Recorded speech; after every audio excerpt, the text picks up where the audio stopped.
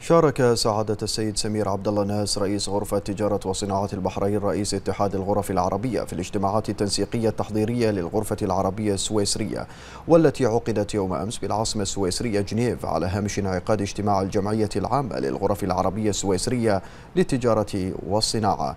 وشدد خلالها ناس على أهمية إقامة شراكات استثمارية متطورة مع الجانب السويسري بما يخدم المصالح الاقتصادية العربية ويرفع من حجم تبادلاتها التجارية.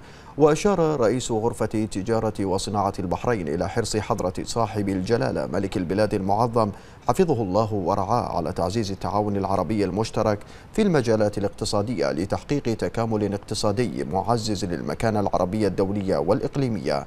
وأضاف ناس أن الانفتاح الاقتصادي العربي المتوازن مع الكيانات الاقتصادية العالمية في ظل الطفرة الإنتاجية والتنموية التي تشهدها الموارد العربية ضرورة للتغلب على التحديات والانعكاسات التي سببتها التداعيات والأحداث العالمية الراهنة.